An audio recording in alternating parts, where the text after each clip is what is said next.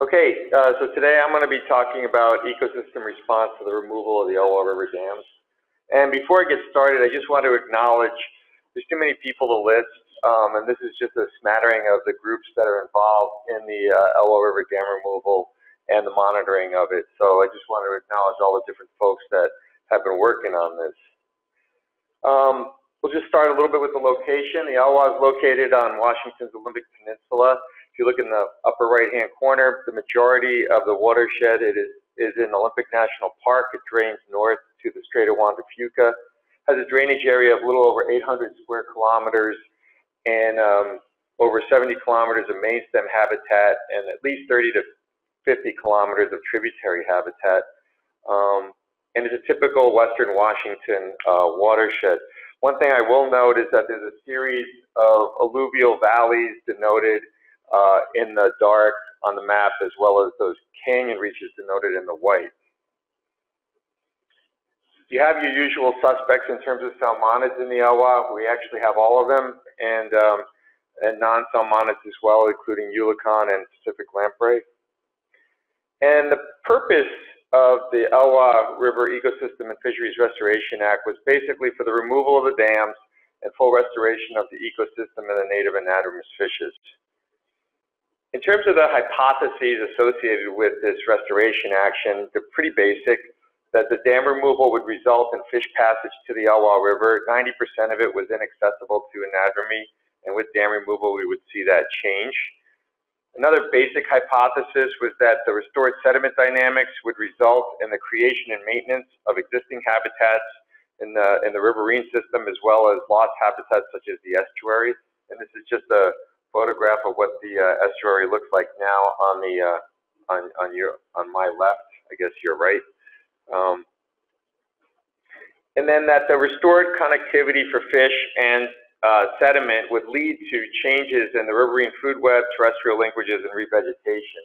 And this is just uh, some conceptual models that we uh, that we recently uh, got accepted as, as part of a paper in bioscience to give you an idea of how we're thinking about what's going on above dams as well as below dams. So in terms of the overall study design, it really was a function of two things. One was the location of the different habitats, the dams in the former reservoir areas, the near shore, and the riverine system, and then the processes associated, primarily the sediment dynamics and the fish recolonization and how they would affect the riverine food web, the terrestrial linkages, and the revegetation. So when we get into more detail, if we think about things in terms of adult fish, juvenile fish, food webs, habitat, sediment, and riparian, we had a variety of different experimental designs, um, uh, before after, before after control impact, um, a variety of different spatial designs. Most of it was essentially stratified systematic surveys or opportunistic, and again, a variety of different temporal designs. And that really was a function of what we were trying to get at with more specific questions. But really, a couple of the key points to remember is that there was the spatial extent was really critical for what we were doing, and that changes over time as a function of the restoration action. There's a need to quantify that natural versus treatment variability, which we all kind of struggle with, and we tried to do an annual analysis of the information. One of the biggest questions that we had to tackle was what was going to happen to all the sediment there was over 20 million cubic meters of sediment accumulated in the reservoirs. Most of it was fine sediment. Over half of it was predicted to erode downstream. And there were a variety of different predictions associated with it, really high suspended sediment concentrations, a temporary deposition of fines in pools, a more dynamic floodplain connection with the main river, the bed building up, and, as, and beach formation in the estuary. So in terms of the restoration action, the Elwha River Dam, which was located at river kilometer 8, was over 100 feet high and had a little less than 5 million cubic meters of sediment associated with it. Most of that was silt and clay. And basically what they did with the, with the dam removal, this is what it looked like in September of 2011, is that they built the coffer dam upstream and they shunted the river to one side of the valley versus the other, and then they would deconstruct, and then they would do the same again, um, move it over, and then and then deconstruct. And then by April of 2012, this was actually done, and this is what it looked like in August of 2012. So that whole process started in September of 2011. The Glines Canyon Dam, which was at river kilometer 22, and both of these, again, no fish passage, was a, was a different story. This one was over 200 feet in height and held over 15 million cubic meters of sediment, most of that being sand and gravel. And what they basically did with this is they took a 2,000 pound jackhammer and put it on a floating barge and went back and forth across the face, knocking the dam down a couple feet every day. And that was all OSHA approved, mind you. So uh, um, eventually, uh, they couldn't float the barge anymore, and they had to bring equipment in for deconstruction. And towards the end, they got the dam down to let's say 30 or 40 feet, and then they detonated. Um, Got to show something like this if you're talking about a dam removal. Um, and this is what it would look like on the ground as you're looking upstream um, on your right there and overhead. So really the majority of the talk is what, I'm, uh, what has occurred with the removal of the dams. Again, I'm going to talk about it as a function of location and processes. I'll start with the sediment dynamics. Um, so what we have on the right is basically topographic change maps, blue being deposition, red being erosion. So the most active sediment supply changes occurred between water year 2011 and 13. And in 2011 and 12, sediment was redeposited in the former reservoirs and the majority of the sediment that was exported happened between 12 and 13 when over 8, 8 metric tons of sediment was moved out primarily from Mills Reservoir. So over about 65% of the initial sediment that was stored has been exported up to this point. So there's been a variety of different effects downstream. So I'm going to walk you through the menagerie of graphs there on the right. So basically, if you focus on um, the uh, suspended sediment concentration graph, which is the one in brown, the peak sediment concentration that occurred uh, was water year 2013 when former mills basically became a river. So when that reservoir was accessible to the river, that's when basically bedload material was mo mobilized. And what that resulted in, if you look at the yellow bar there, is that's when we had the largest contribution of sediment relative to the natural background rate. And that's also when the river really started to change. So that's when we had a smoothing effect of all the pools being filled, the bed started to abrade, and the braiding of the river actually increased. But an important point, a lot of this happened with no flows. In other words, no big flows. There were still seasonal flows, but we didn't get a, a large flow event between 2012 and 14 that was greater than the two-year recurrence interval. After that, when we started to get the flow events, that's when we saw sinuosity change. And you can see the circle that just popped up there. So it's kind of an interesting story is that a lot of the work that the river did with sediment was a function of spring snowmelt. Um, we saw the, the, most dramatic change was the estuary where we had expansion of the river mouth um, and the majority of that sediment consisted of sand and gravel and the deposition occurred up to 12 meters deep and then about two kilometers east of the river mouth. So you can kind of see, and that's where the kind of the long shore drift actually goes in the strait. So we had a prograding delta. These red lines denote where the river was in different at, different years.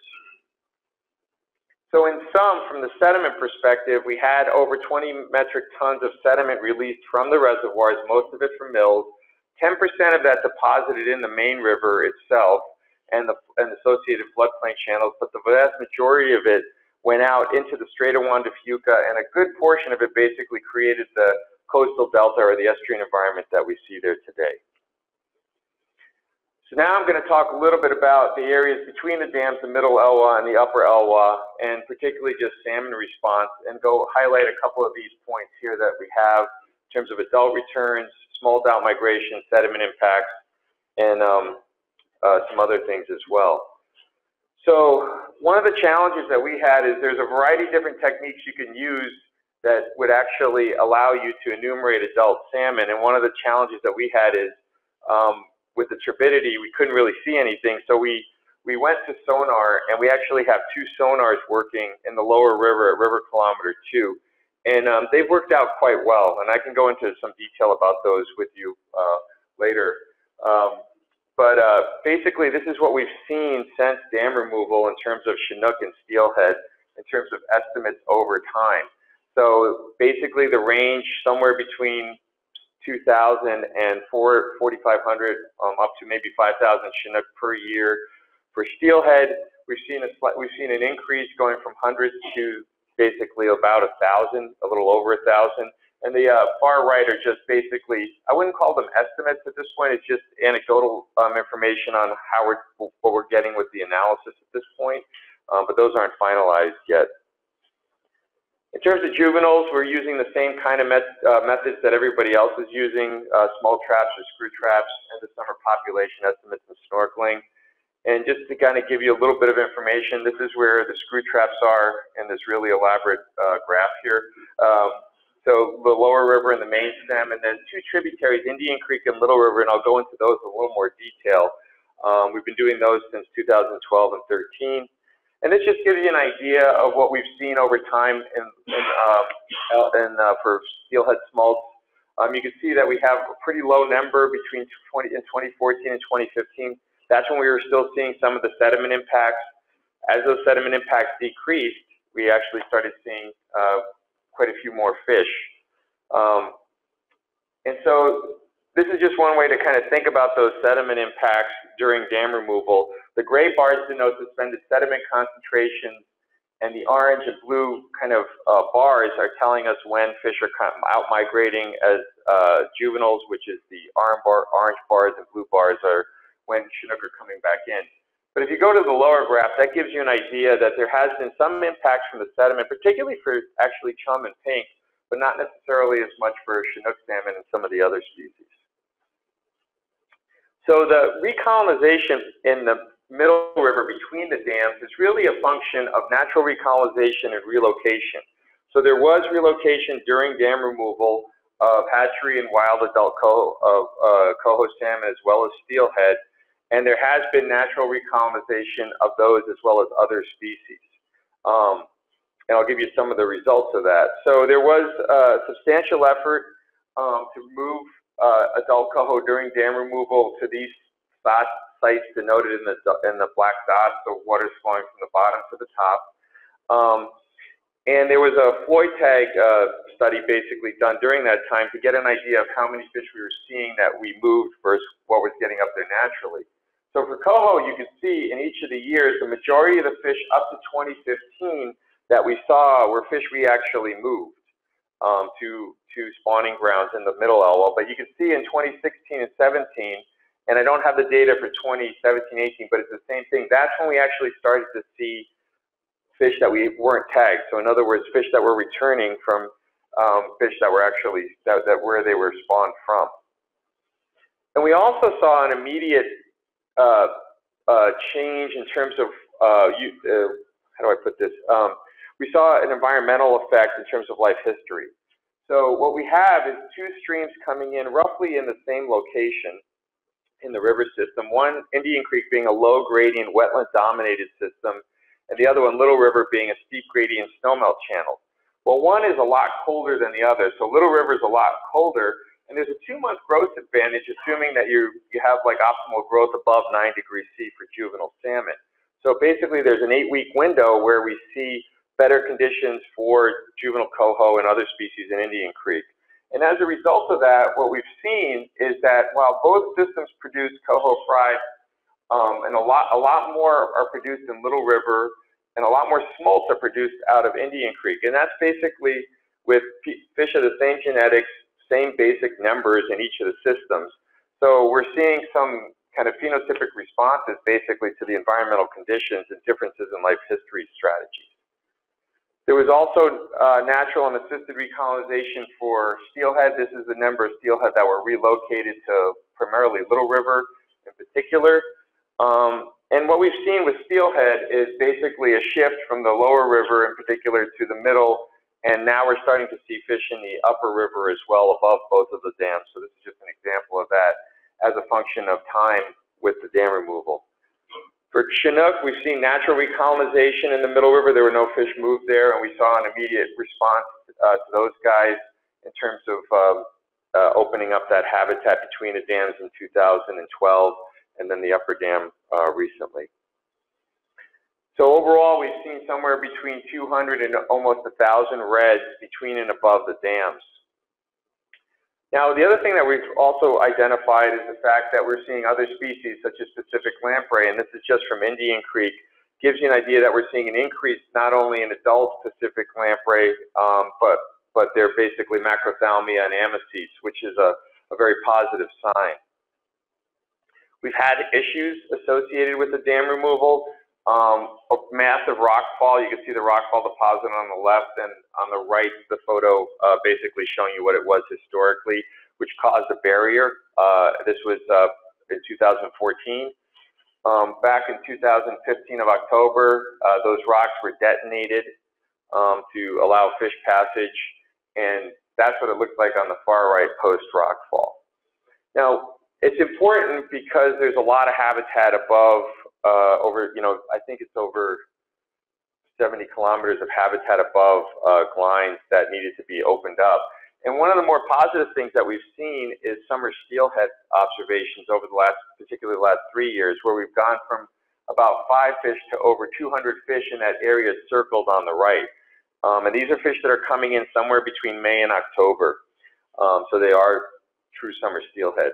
In terms of the benthic food web response, um, there's been um, a lot of work done on that by Sarah Morley and Jeff Duda, where we've seen physical habitat changes and then monitored what's gone on in terms of primary production, secondary production, and, and the diet. And there we have a study design of between, below, and above the dams. Um, and I'm just going to talk about basically between and below the dams. So what, we, what we've seen with benthic inverts is we've seen a, de we saw a, a decrease, a dramatic decrease in the density of inverts during dam removal between 2012 and 14, followed by a pretty dramatic increase uh, post-dam removal in terms of their densities and seeing that species composition shift. Between the dams, it was a little bit different. We didn't see as much of a drop, and we haven't seen as much of a increase, and we're not back to the before levels yet. For diet, I want to just um, point out to you the upper graph. We really just focus on that below the dams. What we saw was that during the sediment, um, we saw a, a dramatic change from the um, terrestrial, from the aquatic to the terrestrial in terms of their what their fish were eating and then shifting back again. It looks like I'm going to go over time. Do I got a couple minutes? Is that okay? One more minute after that? Is that okay? Okay. Are we saying anything? I guess I do. So anyway, um, so anyway, uh, in terms of terrestrial linkages, this is probably one of the more interesting work uh, studies done on uh, in the Elwha with Chris Tonra from Ohio State University where he looked at American dippers in areas in the yellow below an or areas below barriers, and then in the red above barriers. And what he found was that when you opened up those barriers, we actually saw a shift in marine-derived nutrients associated with these dippers. So we actually saw a signal in them. And not only did we see a signal in them, but he actually documented better condition factors for the females, higher survival rate, and 20 times more likelihood of having attempted multiple broods. So for the revegetation, um, there was a plan in place by the tribe, the Lower Elwha tribe and the National Park Service. Um, and kind of the hypothesis here was that basically the most important variables that would be associated with excessive revegetation would be moisture, sediment texture, distance from the forest. And Josh Chenoweth did some studies out there looking at the fine sediments and coarse sediments. And basically the take-home message was that the fine sediments, we have vegetation thriving. and the coarse sediments, um, not so much. And this just gives you an example of that if you look to the far right in the coarse and the fine. So in summary, the dams came down, over half of the sediment has been mobilized. We're seeing revegetation, better in the fine sediments than the coarse sediments. Most of the sediment actually went into the Strait of Juan de Fuca. The delta was actually formed and about 10% of it was in the river itself where main stem aggradation and gravel bar development and wood accumulation occurred. Adult salmonids are making it past both of the dam sites, and we've seen quite a few redds in the middle air in the middle uh, reach. And salmon are adapting to the local environmental conditions and the difference in life history types. And we're also seeing non-salmonid species increasing in numbers. And in terms of benthic inverts, we saw a dramatic reduction um, followed by an increase, and we saw a shift in what fish were eating, and we're seeing benefits from animals such as American dippers um, in terms of their behavior and what they're doing. So with that, sorry I'm going over, but thank you.